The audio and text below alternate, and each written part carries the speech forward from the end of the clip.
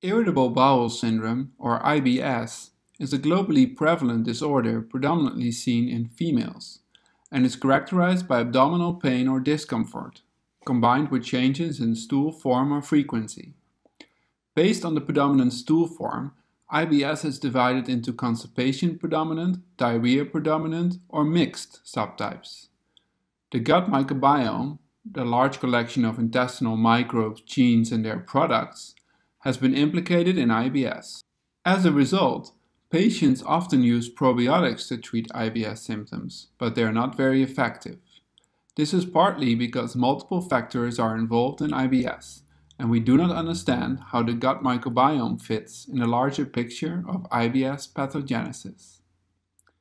In this study, we collected multiple layers of data over a six month period, including diet, patient symptoms, measurement of intestinal secretion, gene expression changes in the GI tract, gut microbiota composition, and the compounds present in fecal samples that can originate from the microbiota, diet, or the host.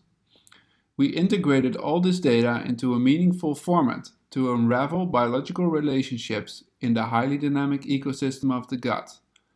By doing this, we discovered a new pathway that is important in IBS. This involves the metabolite hypoxanthine, which is important to keep the intestinal barrier healthy. We found that altered hypoxanthine metabolism involves both the host and the gut bacteria, which highlights the importance of these type of comprehensive studies in humans. We also identified additional bacterial compounds that may be important in IBS. For example, in patients with diarrhea, there was increased bacterial production of tryptamine, which increases water secretion in the intestines. These patients also seem to harbor reduced bacterial metabolism of bile acids. As a result, high levels of primary bile acids were present that can irritate the colon and increase water secretion. In patients with constipation, production of short-chain fatty acids was decreased. These bacterial compounds normally increase movement of the stool across the intestine.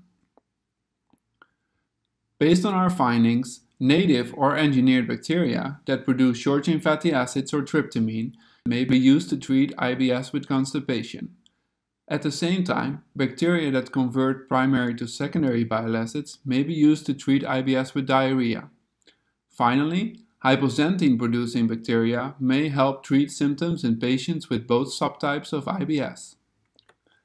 One of the strengths of collecting samples over a six month period is that even when following few patients, gut microbiome changes can be identified that precede worsening of symptoms. Interestingly, these changes were not necessarily consistent between people, which explains why the same treatment may not be suitable for everyone. Overall, our study highlights the importance of longitudinal sampling and integration of multi-omics data with patient data and GI function to identify novel treatment targets.